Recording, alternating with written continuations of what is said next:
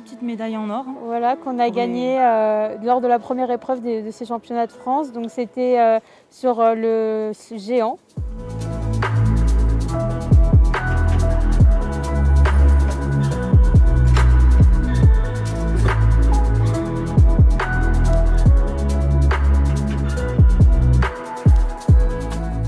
passé, c'est qu'en mai dernier, euh, en fait, euh, je vais participer à une, euh, une, journée de détection pour les Jeux paralympiques de Paris 2024. donc plus dans l'objectif d'y aller en course à pied parce que je venais de faire le semi-marathon ou alors en équitation parce que je faisais les championnats de France d'équitation.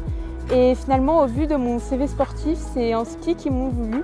Et du coup, j'ai participé à un stage avec mon entraîneur actuel pendant trois jours, juste avant de partir en semestre au Mexique. Et lorsque je suis revenue du Mexique, on a donc euh, commencé euh, les entraînements et les compétitions. Très contente pour ma Serge, pour ce projet. Je l'accompagne euh, depuis ses débuts dans les compétitions et dès que je peux. Alice a toujours skié depuis l'âge de deux ans et demi. elle, a toujours eu un, bon niveau de ski.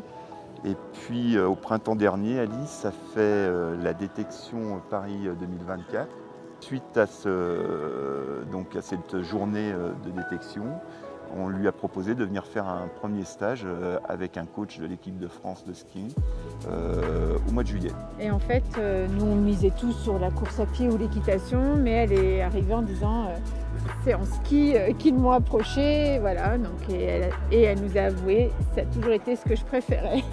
En fait, ce qui est important, c'est qu'il y ait une équipe qui soit là présente, un entourage. Et là, en l'occurrence, c'est très important pour Alice d'avoir justement cet entourage qui soit présent. Euh, Céolane va être une part de cet entourage. Là, je prépare mon monitorat actuellement. Et puis mon père m'a dit, ah ben, on a une malvoyante à guider. J'avais déjà fait un peu de... J'avais déjà guidé des malvoyants. Donc euh, le projet me paraissait sympa. On s'est rencontré avec Alice, ça s'est super bien passé. Et, voilà, l'aventure a commencé comme ça. La famille d'Alice est une autre part. Et la stabilité que peut lui apporter l'école dans son projet va être importante dans le fait qu'elle va se sentir rassurée, sachant que quoi qu'il arrive, les gens autour d'elle vont être euh, près d'elle, vont être là pour l'aider, la soutenir et l'aider à avancer. Le point clé aussi euh, dans l'aboutissement du projet euh, d'Alice, ça a été dès son retour du Mexique de rencontrer euh, une Salle à Beauvais, donc Monsieur Xavier Kernin, le référent handicap, et Monsieur Touraine, le référent sportif haut niveau, pour présenter euh, le projet d'Alice. Il y a euh, un, investissement du côté de l'école, c'est quelque chose d'important parce qu'on sait qu'on ne va pas avoir besoin déjà de gérer cet élément-là, de dire bon, écoutez, il faudrait que vous puissiez la libérer, parce que c'est important, qu'elle puisse être sereine. On part sur une période d'entraînement ou sur une période de compétition.